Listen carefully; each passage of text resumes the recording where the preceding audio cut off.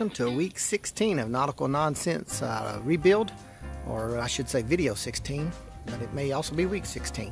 This week's video uh, may be a little short. I've got a lot of personal stuff to do and I've not been feeling that well this week. So anyhow, here we go. Hope you like the video. If you do, like and subscribe.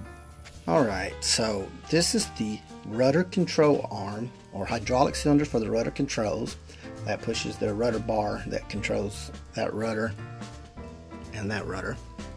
I kept looking at this thing and it was so dirty in here. It's dirty up here. It's got this on it. And I'm like, all of this is going to be repainted. So I decided to take it out. And there it leaks fluid. So, so take it out. Degrease all this. Clean all this up. Check these holes. I might need to uh, clean those out. I might need to fiberglass them and re fill them with thickened epoxy and re-drill them. I don't know. I'll check that that board is fusing is fused with epoxy already, so I think it's fine. But to want to get all this cleaned up, hydraulic hoses look good. Got some cracks because they were painted just from where the paint cracked when you bent the hose, but the hose looks good. So there's the two hoses. They're laying over there. Just throw it over there. Uh, so not going to replace those at this time. They look they look fine. So get this cleaned up maybe paint this. That'll give me some satisfaction if I get this area cleaned out and painted and all this. Get the rudder control arms back on.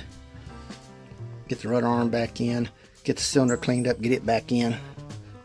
I did sand this down. I didn't get any video of this. I don't think I tried but for some reason my camera didn't I can't find it. But that's where the board was.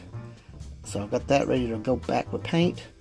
Put some uh, three or four level layers of glass uh, with resin in there. And uh, then I faired it just a little bit not much.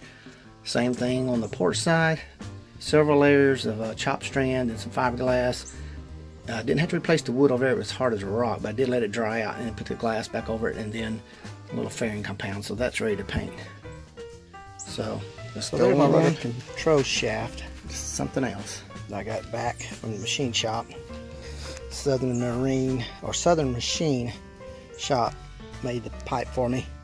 That thing's thick as a gun barrel. It's what it looks like. But uh, that should last a while. We were going to do stainless, but uh, just couldn't find a piece of stainless that size that was affordable. That right there will last a long time. Like I said, that the hole in that the pipe's probably that big around, and the hole in it's about like that. It's like a looks like a gun barrel. It's a little heavier than what we had before, but I think it'll be alright. This is the paint I'm using to paint the bilge.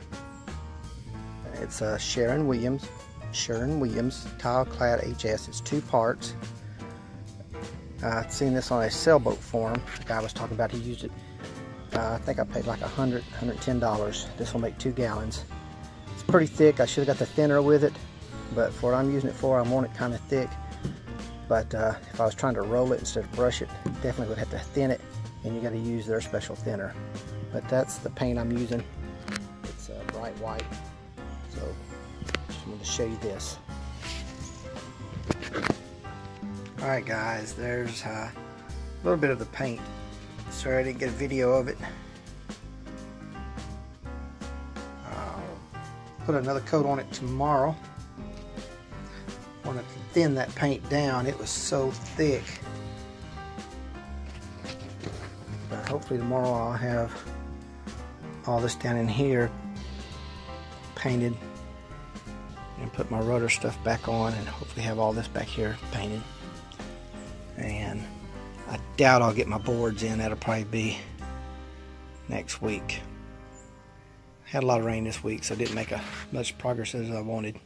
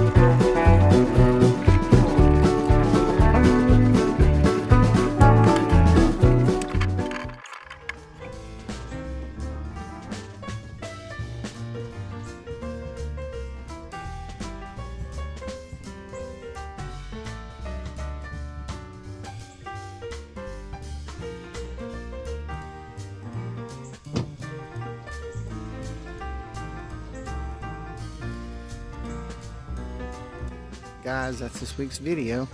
Hope you enjoyed it. It was short and sweet but uh, making some progress. If you enjoyed this video like and subscribe. We'll do it again next week